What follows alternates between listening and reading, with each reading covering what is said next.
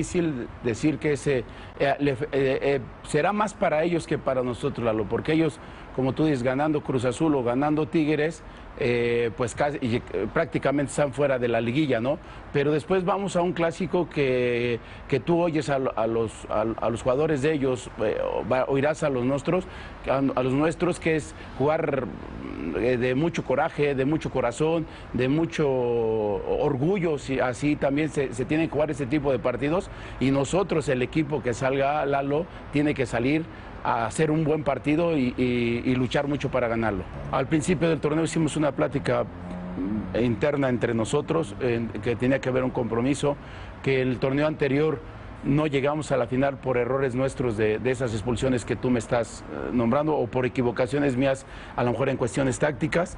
Eh, pero que hoy, hoy, no, hoy en este torneo, si queríamos trascender, si queríamos lograr algo, darle a la afición o al- y a la misma directiva trofeos, pues, necesitábamos mejorar mucho en esos aspectos. Poco a poco lo hemos ido logrando, poco a poco el jugador también se va dando cuenta de que, de que no, podemos, no podíamos regalar ciertos partidos con, con las expulsiones. Y yo hoy te reitero, yo creo voy más al compromiso de todos de que, de que América, América siempre se le va a exigir.